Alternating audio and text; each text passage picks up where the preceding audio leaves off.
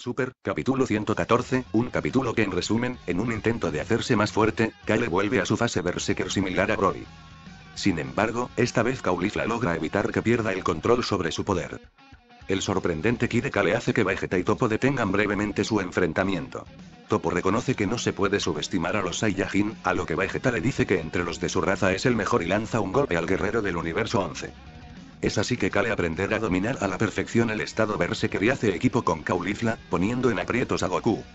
Freezer observa la pelea y debido a su odio a los Saiyajin intenta acabar con Caulifla y Kale. No obstante, Goku le dice que no intervenga. Goku decide transformarse en Super Saiyan God Super Saiyajin Dios para poder pelear contra las dos guerreras del universo 6, quienes han logrado un gran nivel de sincronización en sus ataques. Goku opta por el Super Saiyajin God para enfrentar a las guerreras del universo 6. Foto Toei Animation. Goku logra derribar a Caulifla, pero decide utilizar su arma secreta con Kale. Se trata de los aretes de Potara que le permiten lograr una fusión, que fura.